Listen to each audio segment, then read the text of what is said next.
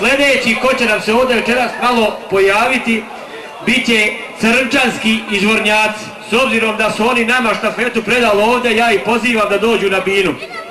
Znači, crnčanski izvornjaci. Svima želim dobrodošlicu i ugodno druženje sa nama.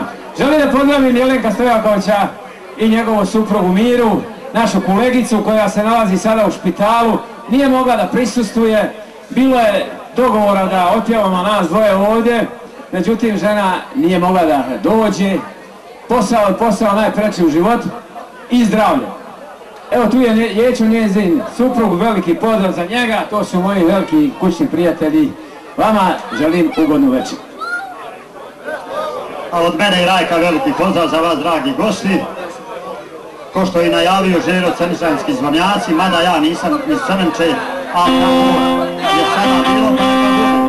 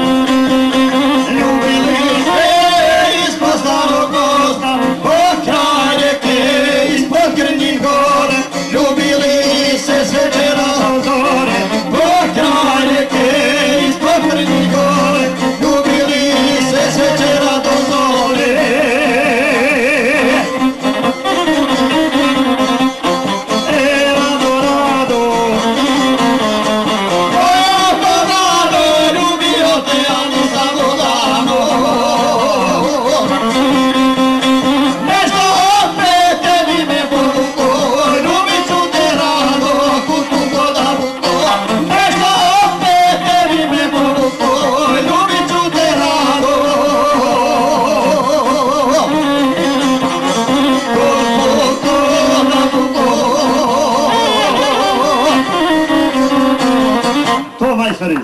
Bravo.